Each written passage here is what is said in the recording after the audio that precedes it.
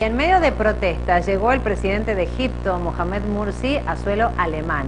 Allí fue a pedir ayuda financiera para rescatar a su país de la crisis económica.